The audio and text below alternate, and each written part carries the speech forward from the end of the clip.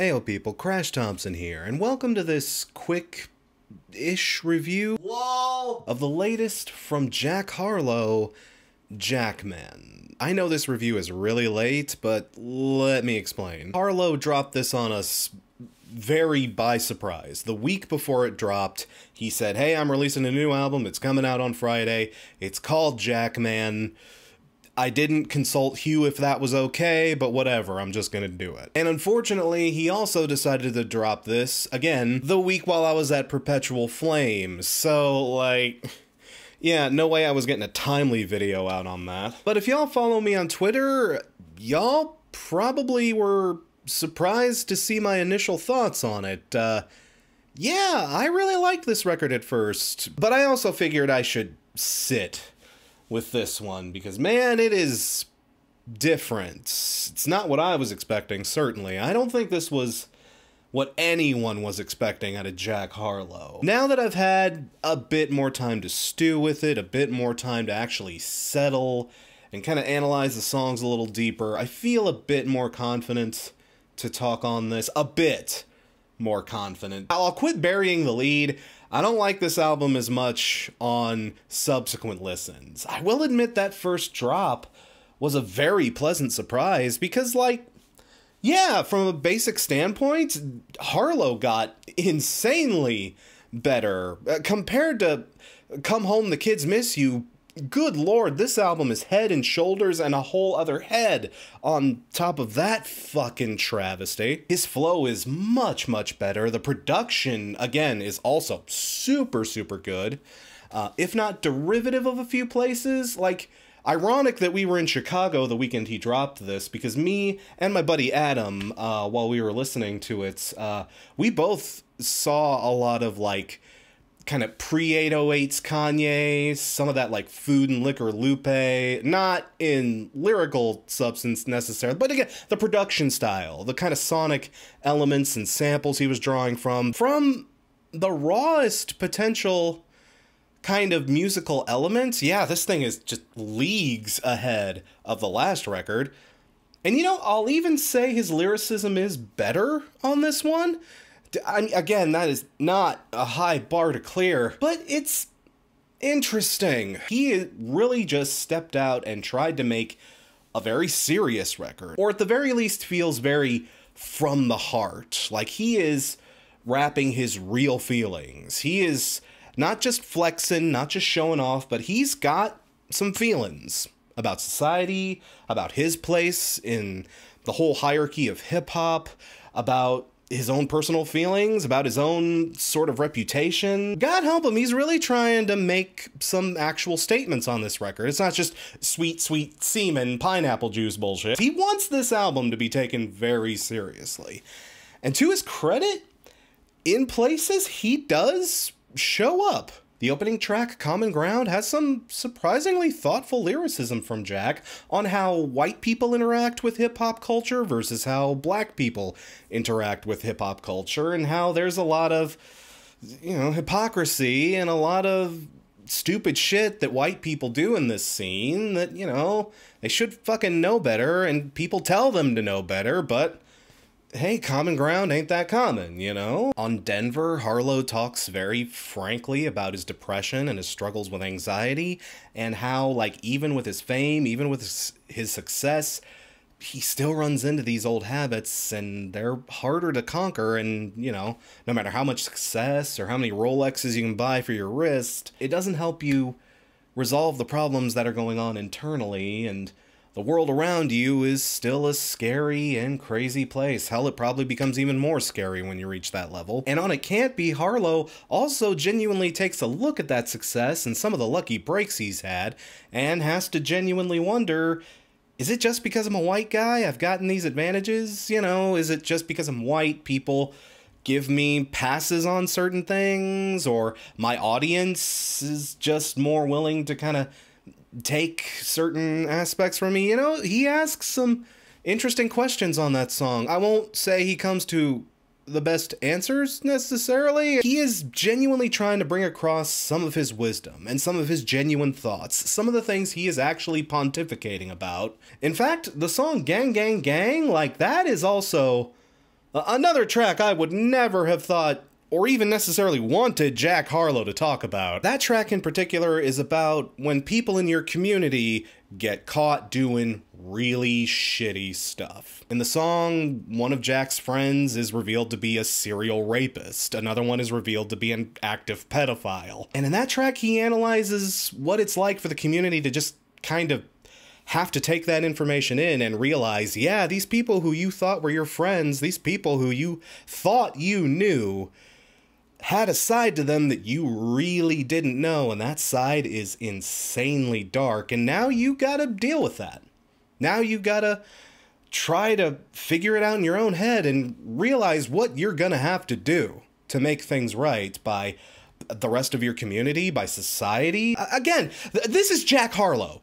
Jack friggin' Harlow. Remember the last record? My name is Jackman Harlow, and I'm the king of doing cubs. Yeah, how is Jack Harlow talking about this stuff? And B, how is he doing a passable job at it? Well, I mean, I say passable. It's, um. See, the thing is, I'm very give or take about it. Because on one hand, I respect Jack's kind of mission statement, mission statement with this record. I appreciate him dropping the clown shoes act because, if anything, this record's very existence just shows us that was an act. That's what he thought we wanted to hear, or that's what his handlers told him to make. I don't know. It just shows us that the last record was even worse than we could have suspected it to be because it was disingenuous on top of everything else. He's not actually this clown shoes motherfucker. He is genuinely an artist and someone who does at least to some certain degree, take his art very seriously. I appreciate him ripping off the clown mask and saying, fuck this bozo bullshit, I'm gonna be an actual rapper and actually talk about shit that matters to me. I feel like being more honest and vulnerable does work with Jack Harlow a bit. the the big problem, the big problem here that he is still Jack Harlow, and God help him. Maybe that last record was more disingenuous, but it wasn't completely fake, because man, some of that goofy shit sneaks its way onto here. Yeah, y'all, after Common Ground, he immediately hits us with They Don't Love It and Ambitious, and like, God help him, he just has to let those corny bars sneak in. When you make your serious record and you're still writing lines like, you boys striving to be the most dominant ever, the hardest white boy since the one who rapped about vomit and sweaters, scuffed up kicks, Old Navy my apparel, and I'm coming in my girl like I'm sterile. Like, this is your serious record. This is the one where you take your shirt off and you do a big grimace and you're like, "Oh, uh, you take me seriously. I uh, I'm a real rapper, man." And then you put shit like this in it still. Mm. Like that's the thing. If you're gonna rip the clown mask off, it's either all or nothing. You can't wipe off the makeup and leave the nose, homie. Just no. And you know, that is the album's biggest problem. It's a problem I've seen people who hate the record and people who love the record all saying is its consistent big Achilles heel. The fucking tone. This is a hard thing to accept from Jack Harlow, period. That last record was such a fucking waka waka Fozzie Bear bullshit dick waggle fiesta I don't even have the words for how ridiculous that record was, but now you're gonna turn around and try to convince us you're this real deal motherfucker. And that would be a hard sell even if you'd pulled it off flawlessly. You know, it's like what if Hopsin decided to surprise drop a record on us and then declare, oh, this is me trying to be J. Cole. Yeah, even then you'd be like, uh, I don't believe you. So yeah, the prospect of an album like that is gonna be a hard sell to everyone across the board. When he does well, he does do genuinely pretty well, or at the very least, better than I ever would have suspected Jack Harlow would be capable of doing. But again, he still falters and he still makes a lot of the same Jack Harlow mistakes where it's impossible to take him seriously. On an album where you are begging, pleading with us to take you seriously, for you to do anything that's that goofy, yeah, dude, it's not. Uh, there's a lot to this record I genuinely enjoyed.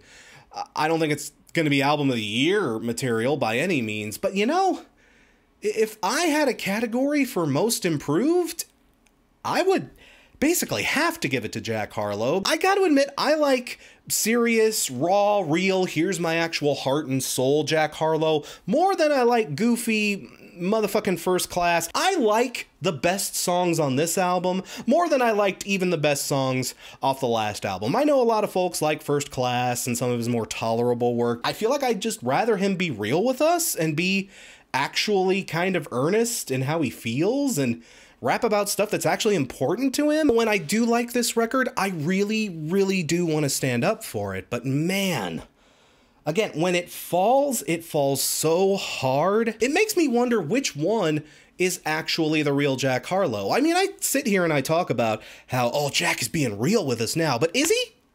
Is this the real Jack Harlow, or is this also, or is this more so the act, or is this more so his team saying, "Oh, you were too ridiculous on that last record. We need you to pr- pretend to be Mr. Hard and Mr. Uh, Mr. Serious Man." I uh, can can I still write lines about coming in, gals? You can have one. I don't know which one is real. Which one is the real Jack Harlow? Are you this gold chain goofball stoner idiot with a cream pie fetish? Or are you this real, raw, philosophical guy who really wants to have a serious conversation about his role in society and his role in hip hop. Seriously, which one are you? Because you cannot be Lupe Fiasco and the Insane Clown Posse. You have to choose. I get why people don't like this one either. I know some people who hate this one even more than his last record. And the thing is, I get it because I I still don't know if I know how to feel about this thing. But I I don't know. Again, maybe it's just because when he does get real and when he does get raw, it feels the most real to me. And like, man, if that is really him, I want that to be the part of him that shines and shows forward. Like, if that is genuinely who he is, he's good at it and I want him to focus on that and sort of lean into that if that's the real deal. With this record, he basically scaled an entire skyscraper as far as improvement in quality. But his last record dug him like a skyscraper's worth deep in the hole. So it's most improved, but it's from like negative 500 to 5. Do I even know what I'm talking about anymore? I'm just gonna give this like a solid to strong six. I. and that's the review. Review? Question mark? I don't know. Y'all obviously could tell I had a lot of weird conflicting feelings about this one. What did y'all think? Where was your mind at? Again, I would be thrilled to hear some of the discussion on this feel free to put that in the comments below. Again, I'm still working on the next uh, long form video. Um, still gonna try to put out a few reviews here and there, but I'm also I'm also gonna be on vacation uh, again uh, next week. Uh, I'm gonna be at Boston Calling. Um, just gonna be in town for the weekend.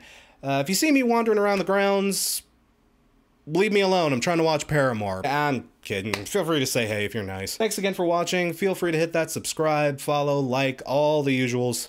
My name is Crash Thompson, and I will see ya when I see ya.